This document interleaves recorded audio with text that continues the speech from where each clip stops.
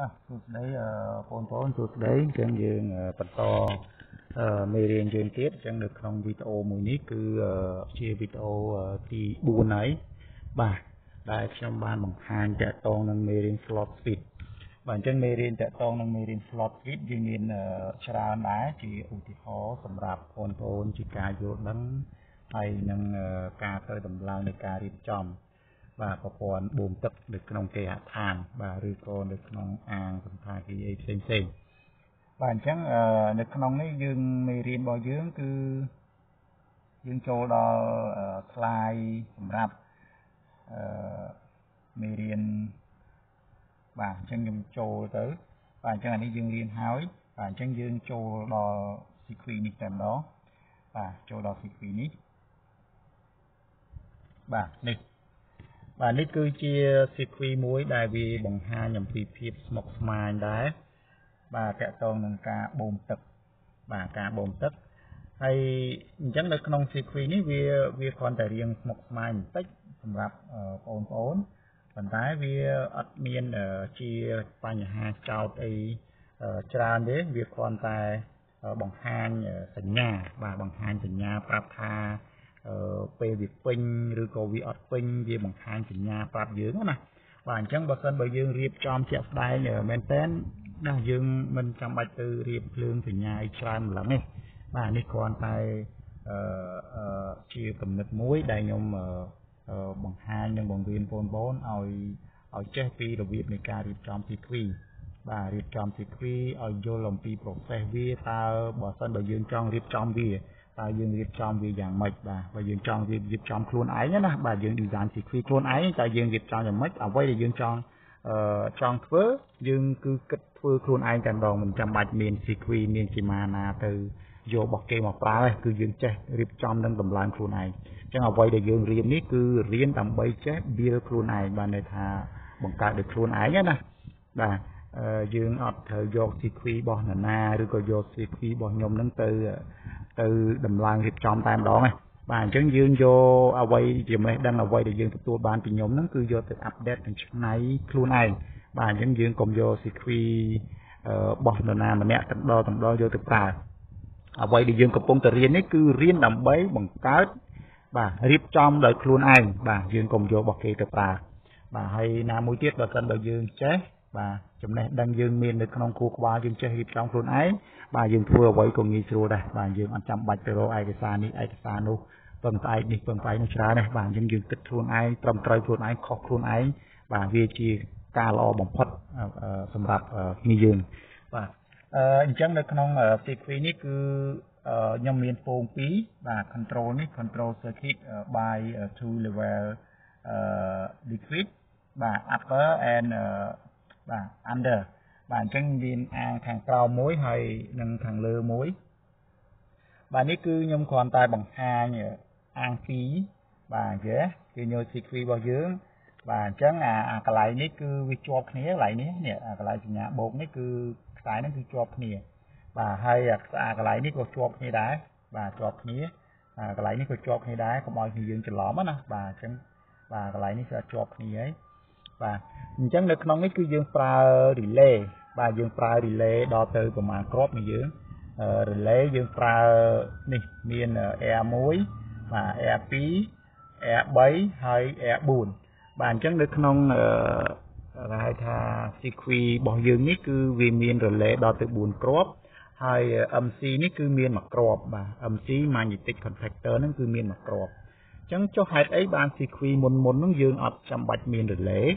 បាទហេតុអីបាន sequence នេះមាន relay ដូចខ្ញុំបង្ហាញខាងដើមអញ្ចឹង sequence នេះបាទវាមាន relay ដោយសារតែខ្ញុំចង់យក relay ហ្នឹងមកបោះបង្ហាញជា បាទជាសញ្ញាសម្គាល់បាទជាសញ្ញាសម្គាល់យ៉ាងម៉េចបាទសម្គាល់ថាឥឡូវយើងមើលនេះ បាទអំពូលពណ៌ខៀវបាទបញ្ជាក់ប្រាប់ថា full water បាទនេះគឺ full water បាទ full water អញ្ចឹងគ្រាន់តែថានៅពេលដែលទឹកពេញបាទនៅពេលដែលទឹកពេញភ្លើងសញ្ញាមួយនេះគឺវាវាបង្ហាញប្រាប់អញ្ចឹងពេញពេញអាងខាងលើឬអាងខាងក្រោមបាទគឺពេញនៅអាងខាងខាងលើបាទ UN ហ្នឹងគឺ under នឹងឯងបាទនេះ under ហើយដល់ពេល low water នេះគឺនេះបាទនេះគឺ low water គឺអឺបានន័យថា under ដែរបាទ under ដែរហើយអានេះបាទហើយសម្រាប់អំពូលនេះវិញគឺ low water ដែរប៉ុន្តែនៅអាងខាងលើបាទហើយអានេះវិញគឺ full water បាទន័យថាទឹកពេញបាទតែនៅអាងខាងលើបាទអញ្ចឹងនៅក្នុងអំពូលសញ្ញាមួយមួយនេះគឺយើងបានបង្ហាញអំពីទឹកពេញហើយនឹងទឹកអស់អញ្ចឹងណាបាទទឹកពេញហើយនឹងទឹកអស់អាងខាងក្រោមហើយនឹងអាងខាងលើបាទអញ្ចឹងបើយើងអត់ចង់បង្ហាញក៏បានដែរយើងមិនបាច់បង្ហាញក៏បានដែរ បាទនេះគាត់ឲ្យខ្ញុំដាក់ CC មកដើម្បីបង្ហាញដើម្បីឲ្យយើងដឹងថាអាងខាងលើពេញណាបាទអញ្ចឹងវាលោតភ្លើងហ្នឹងណាហើយបើអាងអស់វាលោតភ្លើងថាអស់វាប្រាប់យើងថាអស់អញ្ចឹងណាបាទនេះវាជាវាមានភាពងាយស្រួលដែលដែលវាបានបង្ហាញប្រាប់យើងថាទឹកនឹងអស់ឬក៏ទឹកនឹងពេញតែប៉ុណ្្នឹងឯងបាទអញ្ចឹងបើសិនបើតាមធម្មតាការងារជាក់ស្ដែងគឺគេអត់គេអត់គេអត់បង្ហាញទេគេគ្រាន់តែថា ឲ្យម៉ូទ័របូមទឹកទៅកាលណាម៉ូទ័រដើរបូមទៅវាឃើញភ្លើងពណ៌ខៀវដូចមេរៀនយើងខាងដើមអញ្ចឹងណាបាទហ្នឹងជាទូទៅបាទសាមញ្ញបំផុតណាហើយបើនេះគឺយើងរៀងអាប់ដេតខ្ពស់បន្តិចបាទគ្រាន់តែបង្ហាញសញ្ញាឲ្យដឹងបាទហើយតកតងនឹងអានេះគឺនេះបាទនេះគឺ MG1 បាទនេះភ្ជាប់ពីអានេះមកគឺ motor run បាទភ្លើងពណ៌ខៀវហ្នឹងគឺ motor run ដូចអាមុនអញ្ចឹងណាបាទដូចមុន ហើយអាភ្លើងក្រហមនេះ motor stop បាទហើយអានេះគឺ trip lamp បាទគឺ trip lamp អញ្ចឹងយើងយើងបានសិក្សាមើលហើយគឺវាមិនខុសគ្នាពីមុនទេ បាទគ្រាន់តែដូរ sequence យើងមើលទៅឃើញរៀងដូរណាដូរបាទតែវាដូរអត់ច្រើនទេបាទហ្នឹងហើយអញ្ចឹងខ្ញុំនឹងបង្ហាញនៅពន្យល់ sequence របស់យើងត្រួសត្រាសបន្ថែម បាទតើ sequence របស់យើងនឹងវាធ្វើការតាមលក្ខខណ្ឌណាទៅ បាទបែបណាទៅ បាទហើយដើម្បីបញ្យល់ឲ្យបានត្រឹមត្រូវហើយគ្នាយើងនឹងតាមបានទាំងអស់គ្នាថាតើ sequence របស់យើងនឹងគឺវាធ្វើការយ៉ាងដូចម្ដេចបាទអញ្ចឹងយើងមាន base បាទន័យថាមូលដ្ឋានគ្រឹះហើយអញ្ចឹងខ្ញុំនឹងបង្ហាញទៅតែម្ដងបាទអញ្ចឹងអានេះគឺពងទឹកខាងក្រោម បាទនេះគឺពងទឹកខាងខាងលើបាទហើយមួយទៀតអានេះគឺ key switch បាទនេះយើងស្គាល់ key switch ណាបាទ key switch ហ្នឹងគឺវាមិនមែនជាប៊ូតុងទេតែរូបរាងវាដូចប៊ូតុងចឹងប៉ុន្តែថាវាកាច់ចឹងណាបាទវាប្រើកាច់ដូចសោម៉ូតូយើងអាហ្នឹងក៏គេហៅថា key switch ដែរបាទអញ្ចឹងនៅក្នុងអគិសនី key switch របស់អគិសនីវាអាចមានលក្ខណៈមានរូបរាងស្តៀងទៅនឹង selector switch បាទ បាទស្តៀងទៅនឹង selector switch ហើយបើ selector switch វាអាចមានចាប់ពី2តង់ឡើងទៅហ្នឹងហៅ selector បាទអញ្ចឹងបើសិនបើមានតែមួយតង់ទេអាហ្នឹងគេហៅ key switch ហ៎បាទប៉ុន្តែវាអត់មាន key ដោតកាច់ណាប៉ុន្តែក៏គេហៅ key switch បានដែរបាទហ្នឹងហើយបាទអញ្ចឹងយើងមាន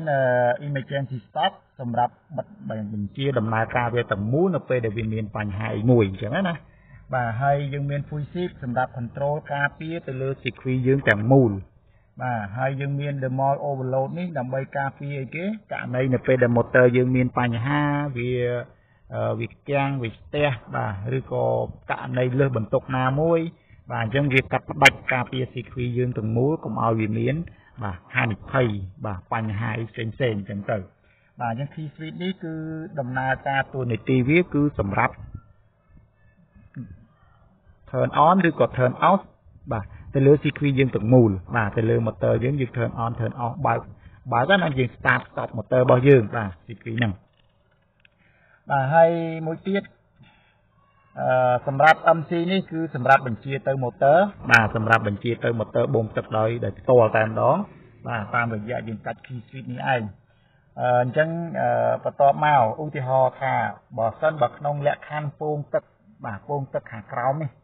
បាទ ទឹកខាងក្រោម under បាទពងទឹកខាងក្រោមនេះមានន័យថាវាមានទឹកបាទករណីនៅពេលដែលវាមានទឹកមានន័យថាអាពងនេះគឺវាមិនដែលឡើងលើមែនទេកាលណាវាមានទឹកណាបាទនេះនេះយើងមើលរូបរបស់យើងនេះបាទអញ្ចឹងកាលណាវាមានទឹកពងយើងនេះវាមិនដែលឡើងលើអញ្ចឹងអញ្ចឹងកាលណាវាមិនដែលឡើងលើបាទអញ្ចឹង secret របស់វាគឺបែបនេះបាទអញ្ចឹង C NC អានេះ C NO អញ្ចឹង អញ្ចឹងបានន័យថាវា NC វាគឺវានៅតែ NC វាអញ្ចឹងអញ្ចឹងភ្លើងយើងនៅពេលដែលយើង apply voltage ចូលទៅបាទអញ្ចឹងវាចូលមកតាមនេះបាទវារត់មកតាមនេះចូលមកតាមនេះវាទៅហើយណាហ៎ទៅទៅហើយធ្វើឲ្យឬទៅប៉ុន្តែមុននឹងវាទៅយើងមើលលក្ខខណ្ឌនេះសិនយើងដាក់លក្ខខណ្ឌសិនដាក់លក្ខខណ្ឌថាតើអា liquid level នៅពងទឹកខាងលើហ្នឹងវាវាពេញឬក៏វាអស់អញ្ចឹងណា ឥឡូវខ្ញុំឧទាហរណ៍ថានៅក្នុង CQ របស់យើងហ្នឹងគឺវាពេញបាទវាពេញណាអញ្ចឹងអាងទឹកខាងក្រោមនេះក៏ពេញអាងទឹកខាងលើនេះក៏ពេញតើវាធ្វើការអីចាំមើលយើងចូលទៅមើល CQ របស់យើងទៅបាទអញ្ចឹងនៅពេលដែលយើងចូលភ្លើង apply voltage ចូលទៅអានេះទឹកពេញឡើងនេះអានេះទឹកពេញវាទៅហើយណាបាទអញ្ចឹងវាចូលទៅឲ្យគេនេះអឺវាចូលបន្ទាប់មកភ្លើងយើងទៅណាទៀតនេះ ភ្លើងយើងរត់មកណៃទៀតគេប៉ុន្តែវាអត់មានទៅណាមួយដោយសារនេះចំហទាំងអស់ចំហចំហចំហចំហអញ្ចឹងពូលអស់នេះគឺអត់មានតនភ្លឺមួយទេមែនទេកាលណាបើកទៅភ្លើងរត់ចូលមកតាមនេះប៉ុន្តែភ្លើងយើងរត់មកណៃទៀតតែចំហនៅកន្លែងនេះវាអត់មានទៅមកបានទៀតទេបាទយើងភ្លើងយើងរត់មកតាមនេះបាទរត់មកតាមនេះហើយវាចូលមកណេះបាទហើយវាចូលមកណេះឃើញទេបាទអញ្ចឹងនៅក្នុង CQ យើងគិតមើលយើងឃើញយើងថា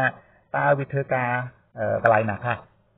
នៅក្នុង CQ នេះគឺវាធ្វើការនៅកន្លែងបាទអញ្ចឹងនៅពេលដែលយើងរត់ចូលមកតាមនេះមកឃើញទេវាធ្វើការនៅកន្លែងនេះមួយវាធ្វើការនៅកន្លែងនេះមួយបាទអញ្ចឹងបានន័យថា air 4នេះធ្វើការ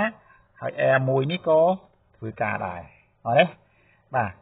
បាទអញ្ចឹងនៅពេលដែល air 4ធ្វើការឥឡូវយើងមើលយើងមើលថាអឺវាវាយ៉ាងម៉េច air 4ធ្វើការអញ្ចឹងនៅពេលដែល air 4នេះធ្វើការបាទហើយនឹង air 1នេះវាធ្វើការឥឡូវយើងទៅមើល air 4នេះ air 4នៅកន្លែងនេះ NO air 4 នេះវាបង្ហាញអំពីបង្ហាញអំពី full water នៅអាងខាងលើបាទអញ្ចឹងបានន័យថាអាងខាងលើពេញចុះ air 1 air 1 នៅណានេះ air 1 air 1 នេះវាបង្ហាញអំពីបាទ full water អាងខាងក្រោមឃើញទេបាទអញ្ចឹងអ្វីដែលខ្ញុំឧទាហរណ៍មិញឧទាហរណ៍ថាបើសិនបើពងទឹកខាងក្រោមនេះពេញហើយពងទឹកខាងលើនេះពេញបាទវាអត់ម៉ូទ័រអត់បូមទេបាទម៉ូទ័របូមតតែ MC1 នេះវាធ្វើការ បាទអញ្ចឹង Air 4នេះវាធ្វើការហើយ Air 1នេះវាធ្វើការអញ្ចឹងវាបង្ហាញអំពីគេនេះបង្ហាញអំពីអាងទឹកហ្នឹងគឺពេញហើយបាទហើយអាងទឹកនេះក៏ពេញដែរបាទអញ្ចឹងវាបង្ហាញតែប៉ុណ្្នឹងឯងវាអត់ទាន់មានធ្វើការអីទាំងអស់ប៉ុន្តែវាបញ្ជាក់ប្រាប់ថាអាងទឹកនឹងពេញហើយបាទពេញទាំងលើពេញទាំងក្រោមឃើញទេបាទអញ្ចឹង frequency នេះគឺវាវាគ្រាន់តែបង្ហាញសញ្ញាអញ្ចឹងបាទបង្ហាញសញ្ញាអញ្ចឹងហើយបន្តមកទៀត អឺខ្ញុំនឹងបញ្យល់បន្ថែមថាចុះនៅពេលដែលអាងទឹកខាងក្រោមអស់ណាអាងទឹកខាងក្រោមអស់ប៉ុន្តែអាងទឹកខាងលើនេះពេញអញ្ចឹងណាយើងដាក់លក្ខខណ្ឌមកថានេះឥឡូវអានេះនៅពេញដដែលបាទអាងទឹកខាងលើនឹងពេញដដែលប៉ុន្តែអាងទឹកខាងក្រោមនេះអស់វិញបាទអាងទឹកខាងក្រោមនេះត្រូវអស់ណាបាទអញ្ចឹងយើងនឹងទៅមើល CQ របស់យើងកាលណាវាអស់ អញ្ចឹងអាពងនេះអាពងវានេះគឺវាទាញតម្លាក់ចុះក្រោមនេះឃើញអាពងនេះពងនេះវាធ្លាក់ចុះក្រោមអញ្ចឹងកាលណាវាធ្លាក់មកអញ្ចឹងវាធ្វើឲ្យអាអាអាជើង contact របស់វានេះវារត់មកភ្ជាប់ជាមួយនឹង NO វិញណាវាភ្ជាប់មួយ NO វិញចឹងកាលណាវាភ្ជាប់ជាមួយនឹង NO វិញភ្លើងរបស់យើងរត់មកវាអត់រត់ទៅតាមនេះទេមែនទេបាទវាអត់រត់ទៅតាមនេះទេវាទៅអត់រួចទេបាទព្រោះវាចំហកន្លែងនេះបាត់ហើយបាទអញ្ចឹងវាមកជាប់នៅកន្លែងនេះវិញណារត់មកនេះវិញណា R1 បាទវារត់មកនេះវិញបាទអញ្ចឹងនៅពេលដែលវារត់មកនេះអឺនេះយើងអាមុនហ្នឹងគឺ R1 នេះធ្វើការមែនទេបាទ air មួយនេះធ្វើការពីមុនហ្នឹងណាពីមុននៅពេលដែលវានៅពេលដែលវាទឹកពេញណាប៉ុន្តែពេលទឹកអស់អានេះផ្ដាច់មកប៉ាត់ណាវារត់មកតាមនេះអញ្ចឹងអា CQ នេះដាច់ណាអានេះដាច់អញ្ចឹងអាហ្នឹងអាលុតទាំងអស់អញ្ចឹងបានន័យថា air 4នេះវាអាលុតមួយផ្លែត បាទអាលុតនៅពេលអានេះវាជាភពអញ្ចឹងអាលុតមួយផ្លែតហើយអា air មួយនេះក៏វាអាលុតដែរបាទហើយបន្ទាប់មកភ្លើងយើងជាប់អានេះវឹកអានេះរត់មកចូលតាម air មួយនេះមក air 2 ធ្វើការវិញណា air 2 ធ្វើការចឹងនៅពេលដែល R2 ធ្វើការនេះ R2 នេះវាភ្ជាប់ជើងនេះបាទវាភ្ជាប់ជើងនេះអញ្ចឹងភ្លើងយើងរត់មកចូលមកតាមនេះបាទអញ្ចឹងវាបោះអីគេបាទនេះវាបោះឲ្យ R4 នេះធ្វើការបាទហើយវារត់មកតាមនេះទៀត វាអត់អាចមកឲ្យ R1 ធ្វើការបានទេដោយសារអីដោយសារ R2 នេះធ្វើការអញ្ចឹង R2 នេះបិទបាត់ហើយបាទអញ្ចឹងនៅពេលដែលទឹកវងនៅខាងក្រោមនេះអស់មានន័យថា R4 នេះធ្វើការបាទហើយនឹង R2 នេះធ្វើការឥឡូវយើងទៅមើលភ្លើងសញ្ញារបស់យើង បាទភ្លើងសញ្ញាលើ R4 បង្ហាញពីអីបាទនេះ R4 បង្ហាញអំពីទឹកពេញនៅអាងខាងលើណាអាងខាងលើឃើញវាបង្ហាញនៅទឹកពេញដដែលអអញ្ចឹង R2 នេះ R2 R2 យើងមើលទៅលើរលែចំហទី2នេះរលែចំហទី2វាបង្ហាញពី low water under បាទអញ្ចឹងមានន័យថាវាបង្ហាញអាពងខាងនេះវាបង្ហាញប្រាប់ថាទឹកកំពុងតែអស់ហើយណាទឹកអស់អញ្ចឹងនៅពេលដែលទឹកអស់វាបង្ហាញប្រាប់ហើយប្រាប់ប្រាប់ថាទឹកអស់បាទអញ្ចឹងនៅពេលដែលពងទឹកខាងក្រោមនេះអស់តើម៉ូទ័រនេះធ្វើការអត់បាទអត់ធ្វើការទេមែនទេអញ្ចឹងកាលណាទឹកអាងខាងក្រោមអត់មានហើយ យើងទៅបូមទឹកពីណាមកព្រោះទឹកដែលយើងត្រូវបូមគឺបូមមកពីទឹកនឹងឯងបាទបូមមកពីទឹកនឹងអញ្ចឹងបើទឹកនឹងអត់មានអញ្ចឹងម៉ូទ័រអត់បូមទេបាទអញ្ចឹងនៅក្នុង CQ របស់យើងគឺធ្វើការតែ R4 ហើយនិង R2 តែប៉ុណ្ណោះបាទឃើញទេអញ្ចឹងវាបានផ្ដល់សញ្ញាប្រាប់ប្រាប់ប្រាប់យើងថាអឺអឺ CQ របស់យើងហ្នឹងវាបានបានបង្ហាញប្រាប់យើងថាវាដើរយ៉ាងម៉េចវាដើរយ៉ាងម៉េចទឹកនឹងអស់ឬក៏មិនអស់វាវាប្រាប់យើងបាទអញ្ចឹងណាបាទចំណុចពិសេសរបស់វាគឺ គឺបែបហ្នឹងបាទអញ្ចឹងខ្ញុំនឹងដាក់លក្ខខណ្ឌផ្សេងទៀតបាទខ្ញុំដាក់លក្ខខណ្ឌទៀតឧទាហរណ៍ថាឥឡូវខ្ញុំនិយាយពីលក្ខខណ្ឌឧទាហរណ៍ថាបើសិនបាទអាងនេះអស់ទឹកអាដែលមិញណាហើយអានេះត្រឡប់មកអស់ទឹកវិញដែរអញ្ចឹងនៅពេលដែលអាមួយនេះអស់ទឹកអាមួយនេះគេបើកប្រើណាប្រើប្រើប្រើប្រើប្រើអានេះអស់ដែរណាអានឹងអស់ដែរអញ្ចឹងក្នុងករណីដែលវាអស់ទាំងពីរបាទអញ្ចឹងឧទាហរណ៍ខាងដើម ខ្ញុំបង្ហាញថានៅពេលដែលមានទឹកទាំងពីរអញ្ចឹងវាបានបង្ហាញភ្លើងសញ្ញា full water ទាំងពីរបាទអញ្ចឹងបើសិនបើឥឡូវវាអស់ទាំងពីរវិញបាទឥឡូវវាអស់ទាំងពីរវិញវាមិនបាទអញ្ចឹងករណីនៅពេលដែលនេះអស់អញ្ចឹងពងនេះវាទាញភ្ជាប់ជាមួយនឹង C ជាមួយនឹង NO បាទនេះបើសិនអស់វាភ្ជាប់ជាមួយ C ជាមួយនឹង NO ដែរបាទអញ្ចឹងយើងនឹងទៅមើល sequence ទាំងអស់គ្នាថាតើវានឹងដំណើរការប្រព្រឹត្តទៅយ៉ាងដូចម្តេចបាទអូ ចឹងនៅពេលដែលអឺ sequence របស់យើងរត់ចូលតាមនេះមកបាទអញ្ចឹងមកនេះអត់មកណាវាដាច់បាទអញ្ចឹងអានេះរត់ទៅអានេះអើអត់ទៅទេបាទហើយវារត់ចូលមកក្រោមណារត់ចូលមកក្រោមបាទនៅពេលដែលវារត់ចូលមកក្រោមបាទអញ្ចឹង R2 ធ្វើការមែនទេបាទ R2 ធ្វើការឃើញទេ R2 ធ្វើការអញ្ចឹង R2 ធ្វើការវាបង្ហាញអំពីអីគេ បាទ R2 ទៅមើល R2 R2 បង្ហាញអំពី low water បាទអញ្ចឹងមានន័យថាទឹកនេះអស់ហ៎ low អញ្ចឹងពេលដែល R2 នេះធ្វើការនេះអា R2 នេះវាភ្ជាប់ណាយើង sequence យើងរត់មកវាភ្ជាប់ពេលដែលវាភ្ជាប់អានេះវារត់មកចូលតាមនេះបាទវារត់មកចូលអានេះបាទវាចូលវារត់វារត់មកណាបាទហើយអានេះក៏វារត់មកតាមនេះដែរ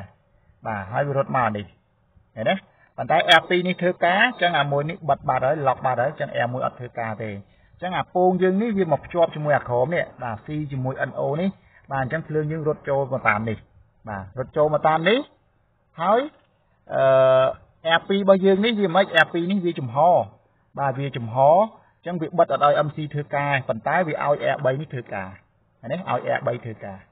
បាទអញ្ចឹងនៅពេលដែល R3 នេះធ្វើការបាទ R3 នេះវាទៅបិទ R4 ឃើញទេនេះ R3 នេះវាទៅចំហជើងទៅដើម្បីកុំឲ្យ R4 នេះធ្វើការ បាទអញ្ចឹងនៅក្នុង C2 របស់យើងនេះយើងមើលទៅឃើញថា R3 ធ្វើការហើយនឹង R1 បាទហើយនឹង R2 នេះធ្វើការបាទឥឡូវយើងទៅមើល R2 ហើយនឹង R3 វាបង្ហាញសញ្ញាអីគេបាទ R2 ហើយនឹង R3 ឥឡូវយើងទៅមើល R R2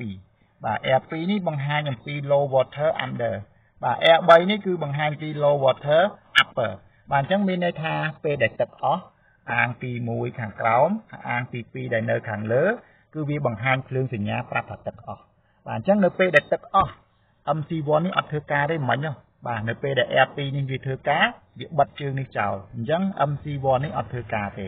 បាទអញ្ចឹងបើទឹកអស់ឧទាហរណ៍ថាអាងនេះអស់ទឹកវាត្រូវបូមមែនទេបាទវាត្រូវបូមប៉ុន្តែដោយសារតែអាងនេះវាអស់ទឹកដែរវាបូមអីមកបើបើសិនបើយើងឲ្យវាបូមបូមអីបូមខ្យល់ឲ្យបូមអីឲ្យមកប្រើហ៎ បាទអញ្ចឹងគឺវាអត់មានដំណើរការអីទាំងអស់នៅពេលដែលវាអស់ទឹកទាំងពីរបាទបាទអញ្ចឹងនៅក្នុងនេះគឺខ្ញុំបង្ហាញអំពីលក្ខខណ្ឌមួយទៀតបាទអញ្ចឹងលក្ខខណ្ឌមួយទៀត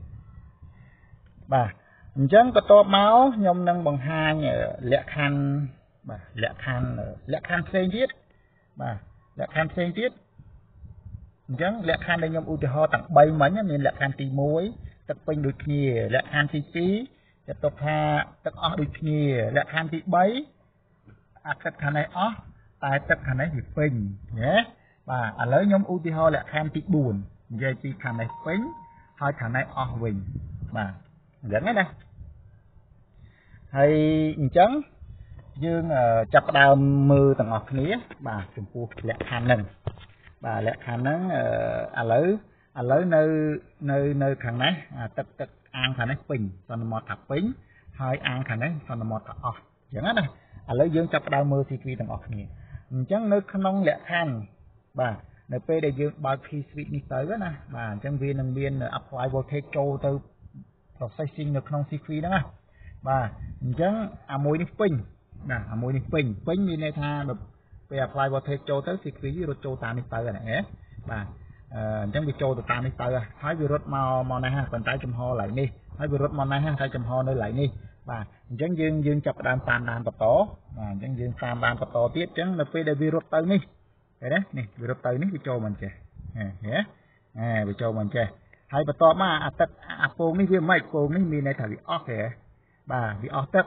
បាទអញ្ចឹងដល់អស់ទឹកបានន័យថា C នេះវាភ្ជាប់ជាមួយនឹង NO វិញវាអត់ភ្ជាប់នៅជាមួយ NC នេះទេ C វាភ្ជាប់ជាមួយ NO វិញអញ្ចឹងកាលណាវាមកភ្ជាប់ជាមួយ NO វិញបាទវាមិន